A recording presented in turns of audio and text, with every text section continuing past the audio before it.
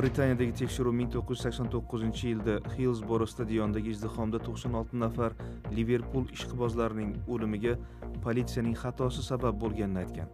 Hakamlarga ko'ra fojiada ishqibozlar aybdor emas. Hakam xulosasini e'lon qilarkan qurbonlarning yaqinlari ko'z yoshlarini tutisholmagan